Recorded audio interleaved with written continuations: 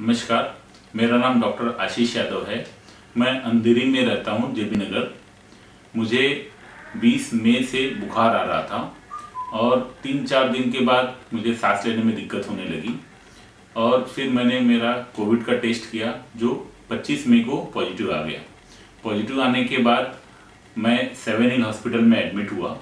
Seven hill hospital में admit होने के बाद मुझे वहाँ पे ऑक्सीजन लगाया गया।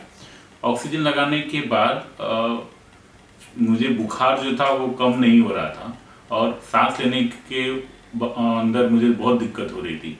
तीन चार दिन तक उनका ट्रीटमेंट चला।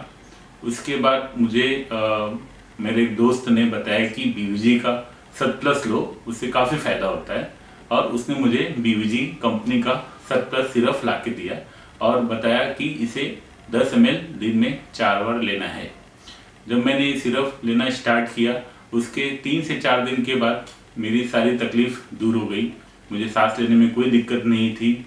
मेरा बुखार चला गया, जो मुझे थकवा लग रहा था, वो चला गया। और उसके बाद फिर मेरा ब्लड टेस्ट लिया गया।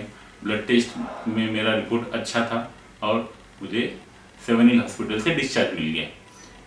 और इस तरीके से बीवी का जो सत्पर सिरप है, वो काफ़ी फ़ायदेमंद मुझे लगा। धन्यवाद बीवी जी